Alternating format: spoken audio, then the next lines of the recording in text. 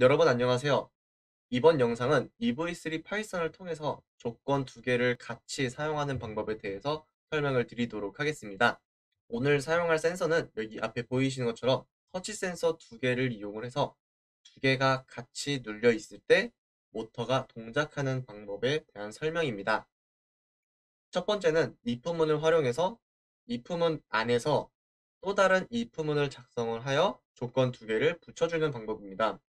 여기 사진에 보이시는 것처럼 터치 센서 1번이라고 되어져 있는 조건이 눌려 있을 때 안쪽에서 4번에 연결이 되어져 있는 터치 센서가 눌려 있냐 라고 물어보면서 이렇게 두 가지의 조건을 같이 사용해 주는 것입니다.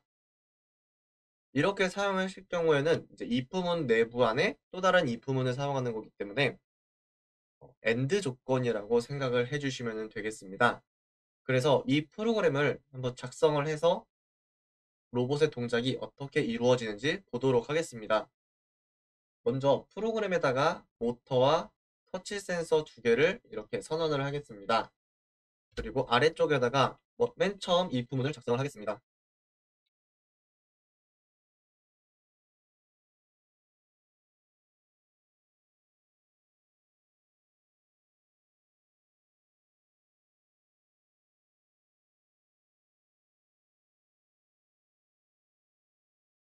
그 다음에 여기 1번 터치 안쪽에다가 이번에 4번 터치가 눌렸을 경우라고 하면서 모터를 동작하도록 하겠습니다.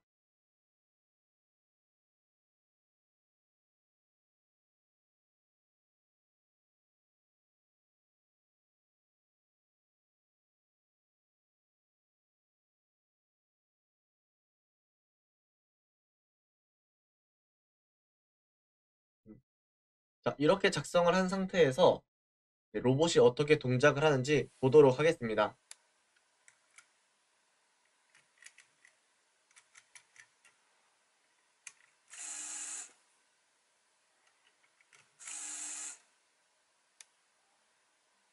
네, 지금 보신 것처럼 터치 센서를 하나씩 눌렀을 때는 모터가 동작하지 않습니다. 터치 센서 두 개를 동시에 눌렀을 때 이제 모터가 한 바퀴씩 도는 것을 보실 수가 있습니다. 그래서 이 부분을 이용을 하실 때는 이런 식으로 사용을 해주면 되는데 만약 여기서 두 개의 터치 중에 하나만 눌려 있을 경우에는 모터가 반대로 돌도록 해보도록 하겠습니다. 어, 그렇게 하기 위해서는 여기 첫 번째 터치가 눌려 있을 때 4번 터치가 눌려 있지 않다 라고 하는 명령과 1번 터치가 눌려 있지 않을 때 4번 터치가 눌려 있다 라는 명령을 주셔야 됩니다. 그래서 여기 첫 번째에 있는 1번 어, 터치에 있는 이 부분 안에다가는 4번 터치가 이미 이 부분으로 작성이 되어져 있기 때문에 여기다가 else를 먼저 작성을 하셔서 A라고 하는 모터가 반대로 돌도록 명령을 추가하도록 하겠습니다.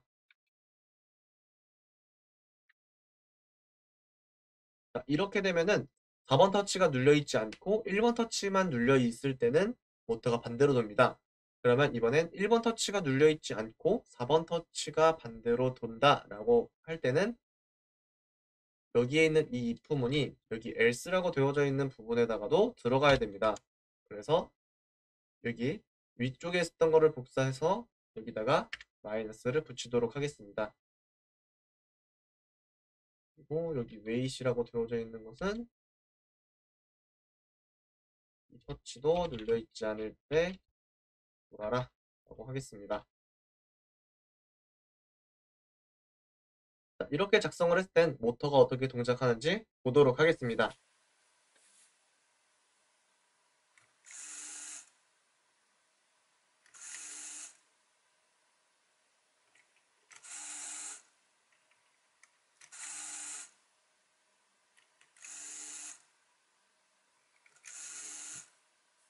네, 지금 보신 것처럼 하나씩 눌렀을 때는 모터가 반시계 방향으로 한 바퀴씩 돌았습니다. 근데 여기서 두 개를 같이 동시에 눌렀을 때는 아까와 똑같이 시계 방향으로 한 바퀴를 도는 것을 보실 수가 있습니다. 이 부분 안에 이 부분을 작성을 하시면 이렇게 프로그램이 조금 길어지게 됩니다.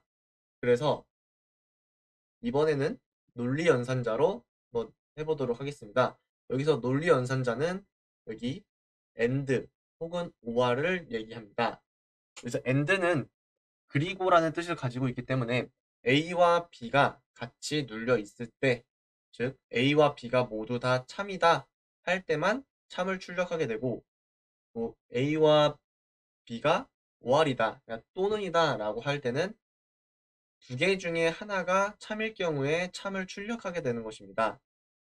어, 이때 오알일 때는 두 개 모두 다 참일 경우에도 참을 출력하게 됩니다. 어, 그러면 아까 작성했었던 프로그램을 이 논리 연산자를 통해서 어, 프로그램을 작성을 해보도록 하겠습니다. 자, 우선은 여기 이 부분과 이 부분 안에 있는 이 시계 방향으로 돈다 라고 되어져 있는 부분은 이제 이 조건이 맞고 두 번째 있는 조건이 맞다 라고 하는 엔드문이 되겠습니다. 그래서 여기 첫 번째에 있는 이 부분에다가 쪽에 있는 4번 터치가 눌렸을 때 라고 하는 거를 복사를 하셔서 여기 사이 여기다가 붙여주시고요. 그리고 이 1번과 4번 터치 사이에 and를 작성을 해주시면은 이렇게 파란색으로 글씨가 변하게 됩니다. 이렇게 되었을 때가 이 두 개가 이제 논리연산자의 and로 작성을 한 것이라고 생각을 해주시면 되겠습니다. 어, 이렇게 작성하고 나면은 여기 안쪽에는 이 부분이 의미가 없어지기 때문에 얘를 지워주고 들여쓰기도 한 칸 없애줍니다. 그리고 어, 여기 역회전 하는 것은 두 개 중에 하나만 눌렸다 라는 의미가 되기 때문에 여기 아래에다가 에리프를 작성을 하고 여기 위에 있는 조건을 그대로 복사하겠습니다. 그 다음에 두 개 중에 하나가 눌려야 되는 것이기 때문에 여기다 5화를 작성을 하겠습니다. 여기 5화는 이 엔드문과 똑같이 파란색으로 되면은 선언을 했다는 것을 보실 수가 있습니다.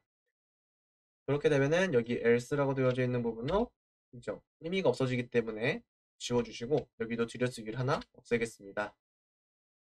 그러고 나면은 여기 마지막에 있는 else는 두 개 모두 다 눌려있지 않다라는 명령이기 때문에 여기 뒤에 있는 이 if문을 없애주시고 여기도 들여쓰기를 하나 없애겠습니다. 프로그램을 동작을 했을 때 아까와 똑같은 결과가 나오는지 한번 보도록 하겠습니다.